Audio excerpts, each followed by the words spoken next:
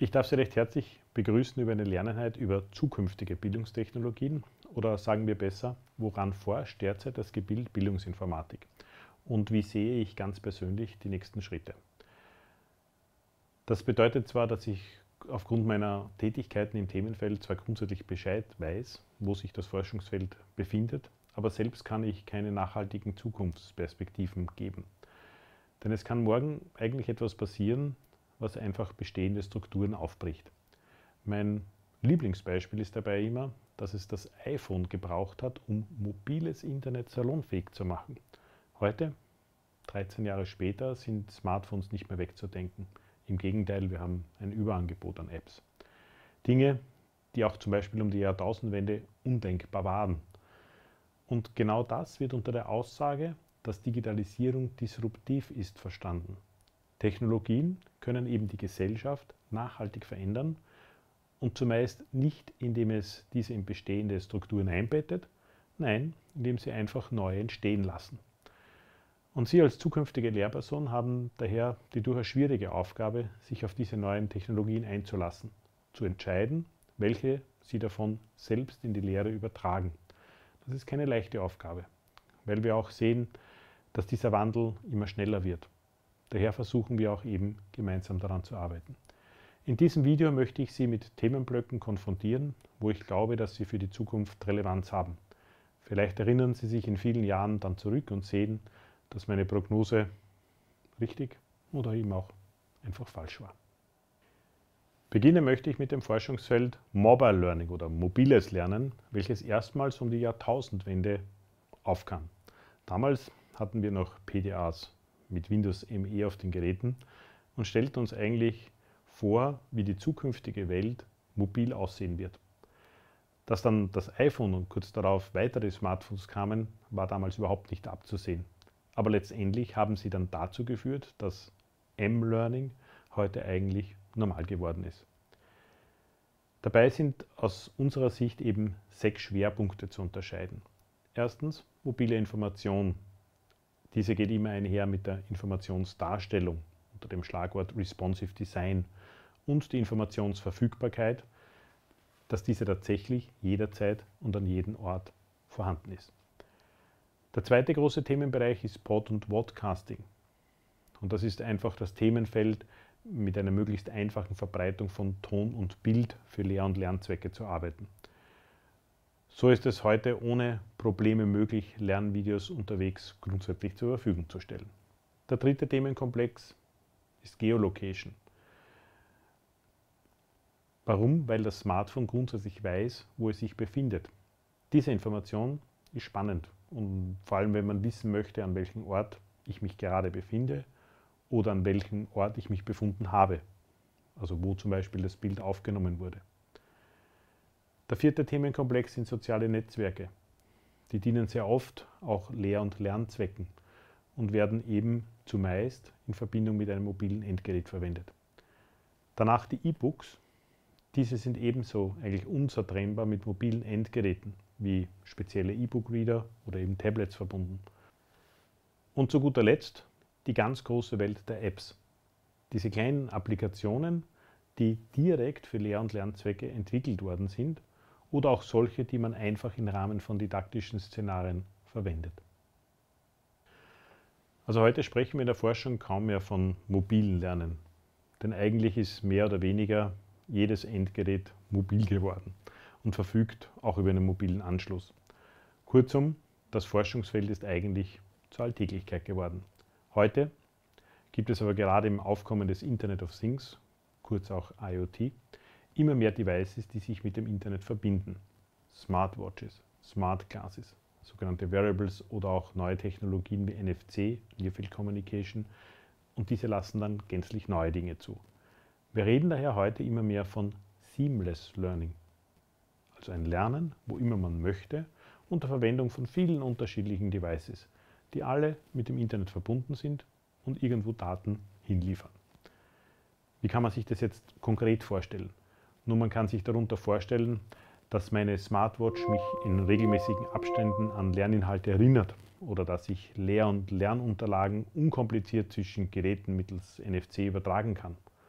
Auch können Sensoren Auskunft über korrekte ausgeführte Bewegungen geben, die man zum Beispiel beim Erlernen von Bewegungen eben braucht. Immer mehr verbreitet sich auch das Thema der sprachgestützten Systeme, wie zum Beispiel eben die Alexa. Nun, warum sollten wir diese nicht verwenden, um über einen Zeitraum faktisches Wissen sich anzueignen? Kurzum, die Beschränkung besteht meiner Meinung nach vor allem durch uns selbst. Wir können uns gewisse Dinge einfach nicht vorstellen und natürlich auch dadurch, dass noch die entsprechenden Programme nicht entwickelt worden sind. Das Sammeln von Daten ist ein sehr guter Übergang zum Bereich Learning Analytics. Das kann man verkürzt so definieren, dass wir hier von Big Data für die Lehre und das Lernen reden. Kurzum, man verwendet Datenanalysen zum Zwecke des Lehren und Lernens. Wichtig dabei ist aber, dass die Lehrperson selbst im Mittelpunkt des Lernarrangements bleibt und der Computer nur die Analysen liefert. Wie kann man sich das jetzt vorstellen? Ganz einfach am Beispiel des 1x1-Trainers. Den finden Sie unter dieser URL. Dort kann ein Kind das kleine 1x1 trainieren. Adaptiv, sprich das Programm versucht den Schwierigkeitsgrad optimal zu erfassen und wächst mit dem Kind einfach mit. Aber das Spannende ist, dass wir jetzt natürlich jede Rechnung in der Datenbank speichern. Und damit kann man global eine Aussage machen darüber, wie denn das kleine Einmaleins überhaupt gelernt wird. Oder andersrum, wir wissen eben nach über einer Million Rechnungen, die in der Datenbank gespeichert wurden, was die schwierigste Rechnung des Einmaleins ist. 6 mal 8, 8 mal 6 oder 7 mal 8. Das ist die globale Aussage. Wir können diese Aussage aber natürlich je Schule, Klasse und auch je Kind sagen. Nun kann aber jetzt in weiterer Folge die Lehrperson den Unterricht individualisieren, indem jedes Kind genau die Rechnung bekommt, die schwerer war oder vielleicht gar nicht gekonnt wurde. Ähnliches haben wir dann im Rahmen des EU-Projektes IDA-Block versucht umzusetzen, indem man auch Texte analysiert und entlang von Kategorien versucht, eben persönliche Stärken und persönliche Schwächen herauszufinden und die Übungen exakt darauf abzustimmen. Ein weiterer Bereich ist die Make Education. Aus dem Konstruktionismus von Pappert heraus hat sich das sogenannte aktive Lernen durch Konstruktion entwickelt. Kinder sollen also aktiv durch das Erstellen von konkreten Produkten lernen. Und dadurch wird einerseits die Kreativität gefördert, weil ja jedes Produkt anders ist, und andererseits der Zugang zu digitalen Technologien eben gefördert. Digitale Technologien sind zwar grundsätzlich keine Voraussetzung für Maker Education, aber sind oft gar nicht mehr wegzudenken. Jetzt kann man sich fragen, welchen großen Felder umfasst denn diese Maker-Bewegung? Und hierzu gehört einmal der Bereich des 3D-Drucks, wo man sich also eben beliebige Objekte erstellen kann. So kann man sich vorstellen, dass man mit Kindern eine Stadt baut und jedes Kind für ein anderes Gebäude zuständig ist. Der Programmierbereich, in dem man zum Beispiel selbst Apps, Spiele mit einfachen visuellen Programmiersprachen wie Pocket Code oder Scratch erstellt. Der Bereich des Robotics, das heißt die Möglichkeit mit noch sehr einfachen Robotern zu arbeiten, wie Thymius, Osobots oder auch Lego Mindstorms. Dann der große Bereich des Physical Computings, in dem man Einplatinencomputer, zum Beispiel BBC Microbit, Calliope Mini, bis hin zum Arduino, Raspberry Pi und so weiter bedient. Dann auch das Arbeiten mit analogen Tools. Dazu fällt das Löten, Hämmern, Feilen, bis man eben sein Produkt hat. Und ganz zum Schluss auch noch das Thema der innovativen Produkte, seien es eben neue Eingabegeräte, programmierbare Nähmaschinen, Vinylcutter, Lasercutter und so weiter. Zu guter Letzt möchte ich natürlich auch hier das Feld Augmented Reality und Virtual Reality ansprechen. Das ist derzeit wohl das am meisten boomendste Feld der Bildungstechnologien. Einerseits sehen wir nämlich tolle Anwendungen am Markt, viele Ideen. Andererseits mangelt es uns aber noch an wirklichen Einsatzszenarien. Wesentlich ist auch den Unterschied zu kennen. Augmented Reality heißt, dass die reale Welt mit virtuellen Dingen überlagert wird. Das heißt, man selbst nicht zur Gänze Teil dieser virtuellen Umgebung ist. Das wäre nämlich dann tatsächlich Virtual Reality. Natürlich gibt es dazu die unterschiedlichsten Grade und alles ist sehr fließend. Und dazwischen redet man auch gerne von Mixed Reality. Also inhaltlich sind uns also kaum Grenzen gesetzt. So gibt es zum Beispiel T-Shirts, wo man schauen kann, wie der Körper von innen aussieht, Würfel, die uns ermöglichen, virtuelle Objekte zu erzeugen, unter dem Stichwort Merge Cube. Oder man lässt sich zum Beispiel auch ganz einfach an historische Orte versetzen oder zum Beispiel in Bergwerke. Auch sind so Experimente durchführbar. Wir denken derzeit meist nur an die Brillen, aber der Weg zur entsprechenden Ein- und Ausgabegeräte für die Hände und Füße sind auch schon unterwegs.